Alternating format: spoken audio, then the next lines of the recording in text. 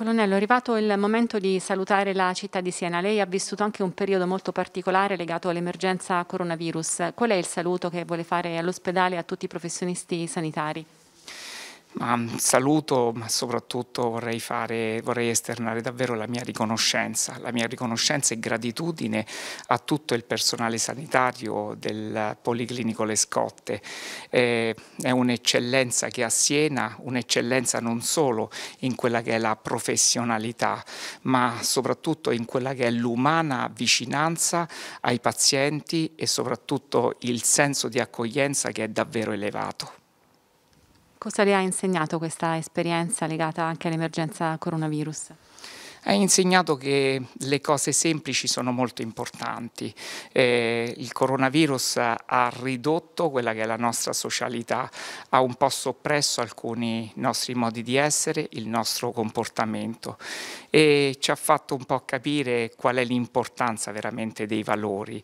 Ma questi sono diciamo, valori, sono concetti che la città di Siena aveva già perché comunque eh, il senese è, è, è custode di un patrimonio di valori eh, fatto di tradizioni antiche che si basano appunto sulla vicinanza, sulla cooperazione sociale, sulla solidarietà e questi valori sono usciti fuori proprio in, eh, in questo periodo per aiutare le persone in difficoltà. Dottor Giovannini, un rapporto istituzionale importante, quello tra ospedale e arma dei carabinieri. Qual è il suo saluto nei confronti del colonnello?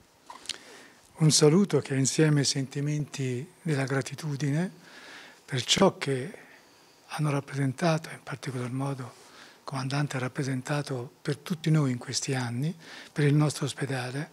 Dicevo un attimo fa che è stata una presenza così forte che a volte neppure abbiamo sentito. E questa è la forza davvero di una grande istituzione, di una capacità di essere nella società, di essere accanto ai momenti importanti della vita di una società come quella di, di un ospedale, senza in qualche prevaricare, ma con sobrietà, con eleganza, ma con quell'attenzione che mai è mancata ai nostri riguardi. Ci siamo sentiti protetti. E questo è il ringraziamento più importante che possiamo, protetti ogni giorno nella nostra attività. Una sempre prima dicevo eh, abbiamo capito che potevamo usare perché sapevamo di essere capiti, che il nostro scopo era sempre e soltanto una sanità per gli altri, pubblica, di qualità, fatta sempre per i nostri cittadini. In questo la città davvero in questi anni ha vissuto un momento straordinario, una congiuntura di quelle uniche che si vivono e si godono tutte.